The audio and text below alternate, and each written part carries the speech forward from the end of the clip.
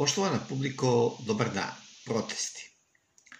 Glavni indikator koji u evaluaciji protesta treba meriti nije broj ljudi koji dolazi na proteste, već stepen organizovanosti organizatora protesta i efikasnosti protestne akcije. Sinošnja šetnja do Pinka je prava akcija. Nedostajao jedan govornik koji bi energetski odgovarao naboju kod građana. Dugo na protestima nisam video takvu odlučnost građana da više ne mogu da trpe vlast i sve što uz nju ide. Nema potrebe ni za ishitrenim akcijama, ni za akcijama red za rad, kao blokada autoputa.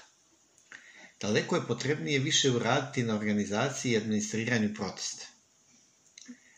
Počev od uključivanja pojedinaca, organizacija, organizacioni odbor, donošenje odluka, realizaciju dogovorenog, koordinaciju. Posebno koordinacija sa protestima širom Srbije. To se zove infrastruktura protesta koja treba da rezultira smenom ove vlasti. Biće ovo jedan dug maraton.